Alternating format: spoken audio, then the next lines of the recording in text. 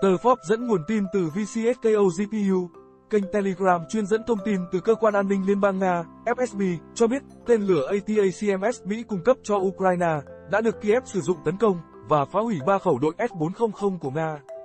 Lực lượng Nga nói rằng họ đã bắn hạ hai quả ATACMS, nhưng các nguồn tin của chúng tôi cho biết thực tế chớ trêu hơn. Hai tên lửa ATACMS đúng là đã bị phá hủy, nhưng là sau khi chúng lao vào trận địa phòng không của Nga ở tỉnh Lugan, phá hủy ba khẩu đội S-400, VCSKO GPU cho biết. Thông tin được VCSKO GPU đưa ra một ngày sau khi Bộ Quốc phòng Nga thông báo đánh chặn thành công hai tên lửa tên lửa chiến thuật lục quân ATACMS mà Mỹ vừa chuyển giao cho quân đội Ukraine. Đây là lần đầu Nga thông báo đánh chặn được ATACMS kể từ khi Ukraine triển khai loại vũ khí này hồi tuần trước. Tuy nhiên, VCSKO GPU cho hay, phòng không Nga trên thực tế không chặn được hết tên lửa do Ukraine phóng, gây thiệt hại cho tổ hợp phòng thủ S-400. Tuy nhiên ngược lại, đánh giá về việc ATACMS tham chiến tại Ukraine, cựu chuyên gia phân tích của CIA Larry Johnson cho biết, việc ATACMS phá hủy S-400 đến nay vẫn chưa có bằng chứng xác thực khi được triển khai ra tiền tuyến, các tổ hợp tên lửa chiến thuật ATACMS sẽ lập tức bị máy bay không người lái của Nga phá hủy. Vị chuyên gia Mỹ lưu ý rằng, phạm vi hoạt động của tổ hợp tên lửa Mỹ là khoảng 160 km. Tên lửa ATACMS chỉ có thể tấn công sâu vào lãnh thổ Nga nếu bố trí ở sát gần mặt trận, cũng chính là điểm yếu khiến chúng trở nên dễ bị tổn thương. Càng ở gần tiền tuyến, các tổ hợp này càng bộc lộ yếu điểm dễ bị tổn thương, và khi đó sẽ bị máy bay không người lái của Nga tiêu diệt, chuyên gia Johnson nói. Johnson cho biết thêm, phương Tây thật sự trông đợi Ukraine, giáng đòn khiến năng lực chiến đấu của lực lượng Nga bị suy yếu trong khoảng thời gian ngắn nhất.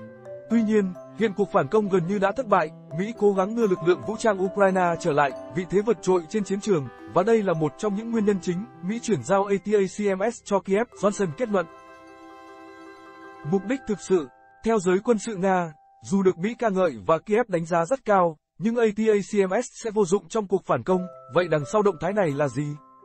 Hệ thống tên lửa chiến thuật ATACMS là tên lửa đạn đạo chiến thuật đất đối đất dẫn đường quán tính do công ty quốc phòng Mỹ Lockheed Martin sản xuất. Những tên lửa này có tầm tấn công tối đa đạt 300 km. ADACMS được sử dụng rộng rãi trong cả chiến dịch bão táp sa mạc 1991 và trong cuộc xâm lược Iraq của Mỹ.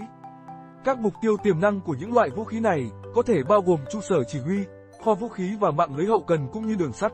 Nhưng theo truyền thông Mỹ, Washington đã cung cấp cho Kiev một phiên bản ATACMS được trang bị đạn con trùm, thay vì một đầu đạn đơn lẻ.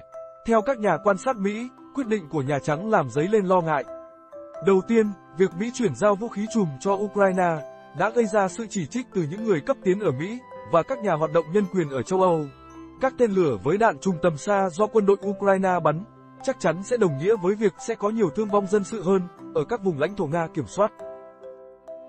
Tương tự như vậy, Kiev đã nhiều lần sử dụng tên lửa Storm Shadow, tầm xa của Anh và Pháp để tấn công cơ sở hạ tầng dân sự, bao gồm đường xá, cầu cống và các tòa nhà. Thứ hai, một số nhà quan sát quân sự Mỹ cho rằng, vấn đề lớn nhất của Ukraine không phải ở cách xa 100 km, mà là ở phía trước họ 1 km với những bãi mìn, do người Nga dài.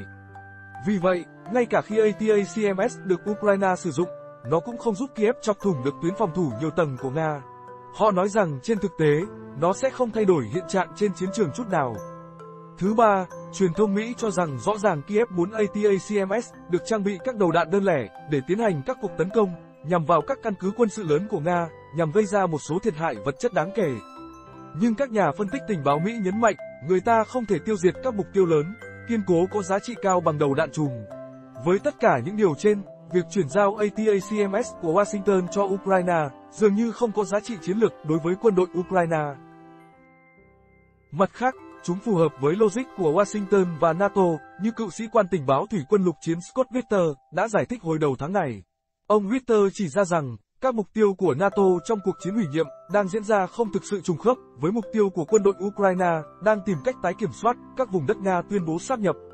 Mục tiêu của NATO không phải là đạt được chiến thắng quân sự quyết định trên chiến trường, mà là gây ra càng nhiều thiệt hại cho đối phương càng tốt. NATO, và chúng tôi nghe đi nghe lại điều này, trong lời hùng biện của các chính trị gia Mỹ, rằng việc chi tiêu tiền của người dân Mỹ hỗ trợ Ukraine là tiền được chi tiêu hợp lý, nhằm giảm số người Ukraine thiệt mạng và tăng thiệt hại đối với lực lượng Nga. Nhưng bây giờ, điều còn lại trong phương trình nghịch đảo này là những người Ukraine thương vong ngày càng nhiều. Nhưng đối với Mỹ và NATO, điều đó đơn giản là không, không vấn đề gì, ông Ritter nói. Ông Ritter nhấn mạnh thêm rằng, có nhiều bằng chứng cho thấy, Mỹ và NATO đứng sau các cuộc tấn công của Kiev nhằm vào các cơ sở hạt nhân, cơ sở dân sự và khu dân cư của Nga. Cựu sĩ quan tình báo quân sự Mỹ cho biết, đây có thể là lý do khiến Washington đưa thêm tên lửa trùm tầm xa ATACMS tới Kiev trong thời gian sắp tới. Theo giáo dục và thời đại, cảm ơn các bạn đã xem bản tin.